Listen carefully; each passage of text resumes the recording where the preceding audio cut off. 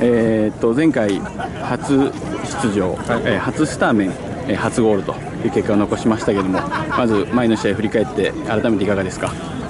えーまあ、初めてスタメンで使ってもらったんですけども、えーまあ、チームがまず勝てたってことが良かったと思います。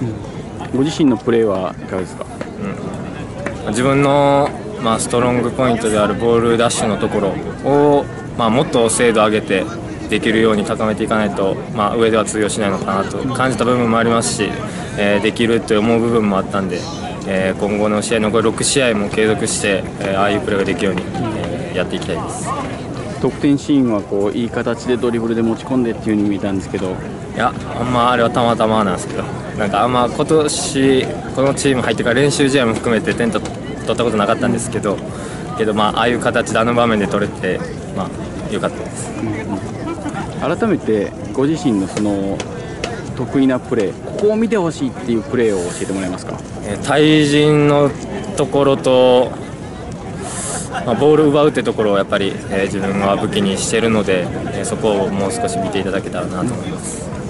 えーまあ、前回結果残してチャンス掴んで、えー次にっていうことになると思うんですけども、まあ、次の試合出たらどういった、えー活躍をしたいか。いやまだ僕はまだ1試合しか出てないし全然チームに貢献できてないと思うんで。で、まあ、この前はまあ1ゴール1アシストっていう結果は残せたんですけど全然まだまだなんで、えーもっと貪欲にえーチームのためにえーチームが勝てるように残り6試合頑張りたいです。